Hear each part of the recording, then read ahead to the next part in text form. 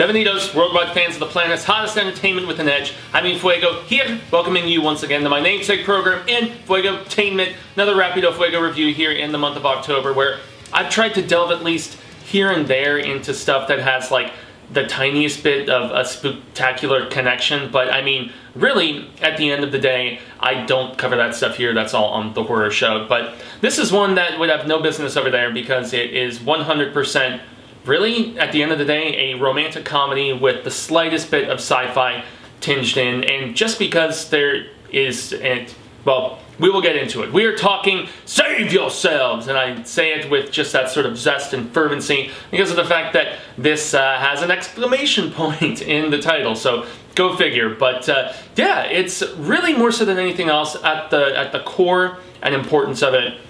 It's just kind of snidely and, um, you know, kind of tongue-in-cheekly poking fun at our addiction to our devices, internet connection, social media, and all of that different stuff, whether it's, you know, for, you know, keeping up with friends and family, and you know, meeting somebody to date, or, you know, find a new recipe, or a trail to hike, or, you know, whatever it may be. It's, uh, it's also very necessary for a lot of people's work, most notably our two leads who have seemingly been dating for a while. We have Sue and we have Jack, and they have, they're happy, but they're just maybe not as happy as they could be. I, I mean, it's not like something wrought with misery, but there is just that, okay, you know, is this, are we together but apart? Are we distancing ourselves a little bit more so than we normally would because we're so shackled to our devices? And that commentary resonates with me because my lady loves her phone. A lot of my friends the same way. I have my time in the sun as well, so I'm not virtuous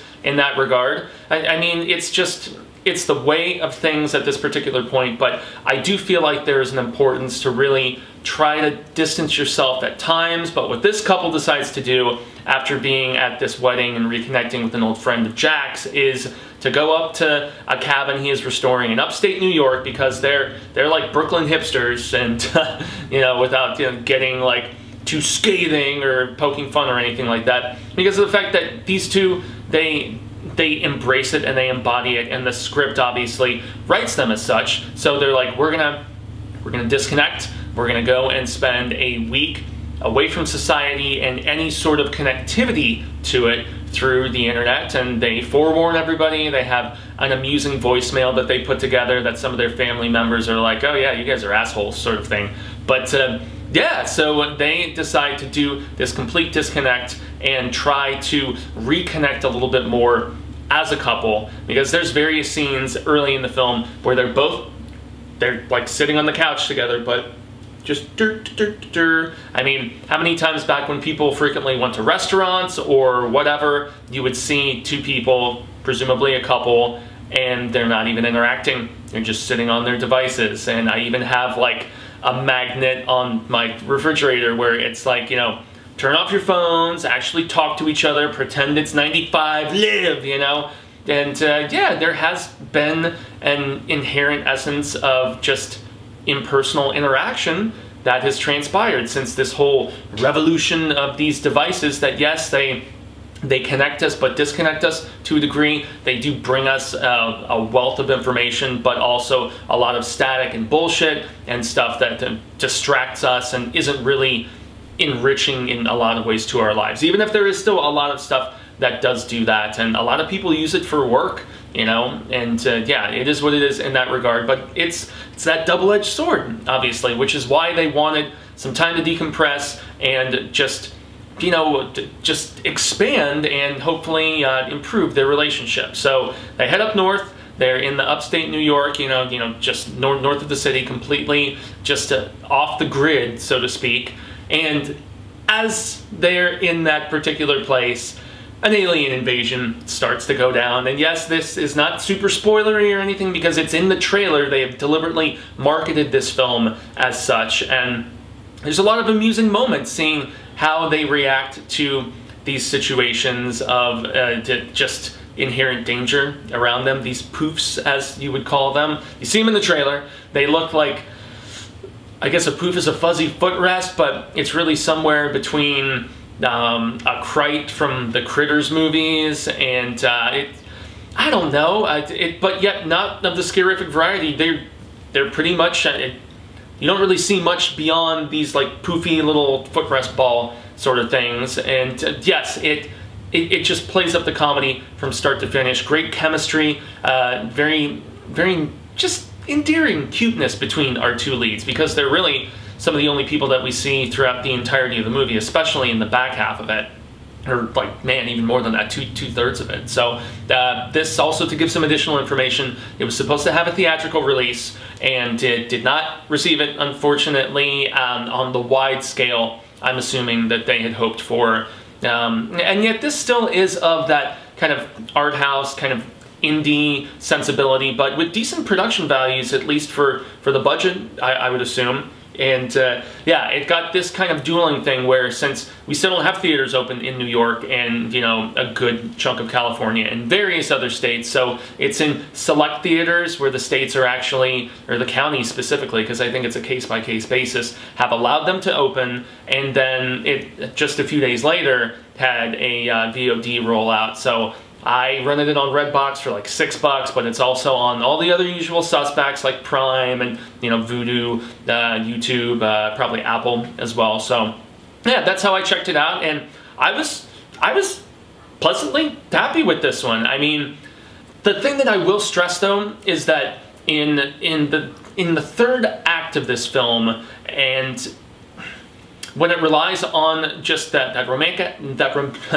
when it relies on that romantic aspect, everything is much more compelling than when we get the genre sensibilities of the sci-fi and uh, when it when it veers away from them just and their they're just amusing kind of impish timidness and you know not wanting to use guns to go after these creatures and and various other things. Uh, and also when they find a, a, baby like you know a little bit later in the film without getting too much into all of that that stuff is good. Nose is super itchy. But um, it's when it's when we get into like the explanation a little bit more so of why this invasion is happening.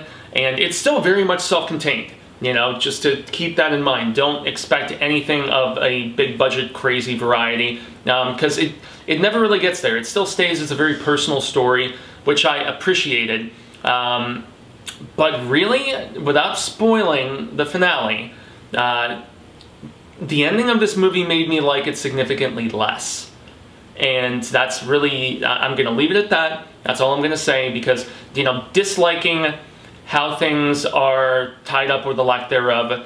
Um, it doesn't necessarily like just make you hate everything about the journey, but um, yeah, sometimes you are, it, it, kind of sheds a little bit less of an enjoyable light on all of the you know previous proceedings and uh, that's unfortunately what this movie did so I did really love it great performances the the, the music was just a little too um, nose in the air hipsterish for me. And uh, yeah, but beautifully shot, great drone shots. I'm not sure if this actually was upstate New York or if they were, you know, somewhere in Canada. Um, but uh, yes, it was it was definitely gorgeous. I'm assuming east side of the United States or at least North America. Uh, very funny and just great. Uh, just just a great fun couple that you were rooting for and just laughing at some of their bumbling throughout. So that that stuff was all very good it was an enjoyable film. But I definitely would have given it higher marks. This could have inched towards a Fuego film if not for the finale. And so just to give it a clear-cut decision right here, this is definitely a bueno film. It's it's three and a half on my uh, Letterboxd if you guys want to just see. I, I don't do full-on reviews on Letterboxd, but I do rate everything that I watch on there. So if you want to see all of the films released in 2020 or everything I watched in 2019 and even back to 2018 when I first started that, um, yeah, this was a three and a half, but since I don't do half ratings here on my personal channel, it, it has to slink back to being just a bueno film, but still, it was good. I, I enjoyed it a lot, and, I'm curious what else both of these uh, actors have done. I, I, believe it was a first time, at least for feature, uh, writing and directing team, and uh, yeah, I mean, watch it, make up your own mind if you like that whole romantic uh, comedy aspect with a little sprinkling. I mean,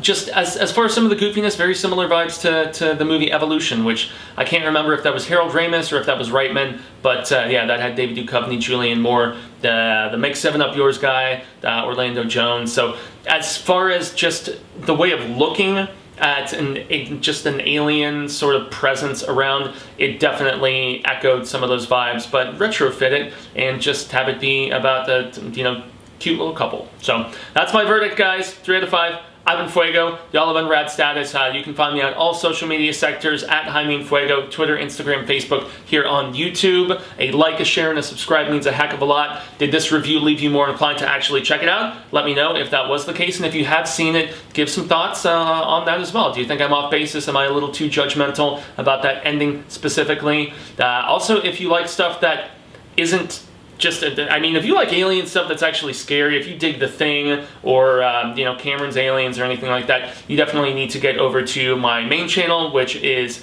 uh, youtube.com slash the horror show channel. That's where, uh, yes, we're in the midst of all kinds of badass spectacular coverage. We're going to be looking at The Haunting of Bly Manor, as well as uh, Books of Blood, the new uh, thing that, uh, yeah, Hulu has from uh, Mr. Clive Barker for his original collection of crazy stories. So lots of fun over there. Support here or over yonder definitely means a hell of a lot. So uh, that's all for it, uh, peeps. So I've been Fuego, and until the Reel of Ka comes around once more, hasta luego, cinemigos, constant readers and viewers alike, say thank you for listening to my palaver here today. I hope that we get to share more of it sooner rather than later. And until then, remember to uh, stay home and uh, watch more movies. Show some support in this uh, dire state that the uh, theater industry is in.